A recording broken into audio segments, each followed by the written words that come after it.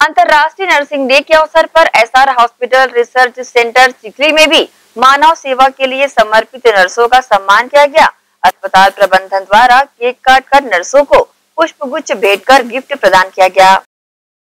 हर वर्ष की तरह इस वर्ष भी SR hospital and research centre Chikhli में अंतर्राष्ट्रीय नर्सिंग डे के अवसर पर अस्पताल में मानव सेवा को समर्पित नर्सों का सम्मान किया गया।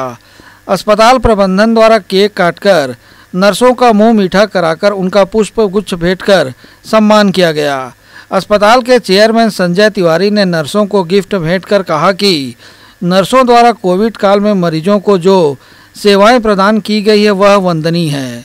मरीजों की सेवा में नर्सों का योगदान अहम रहा है।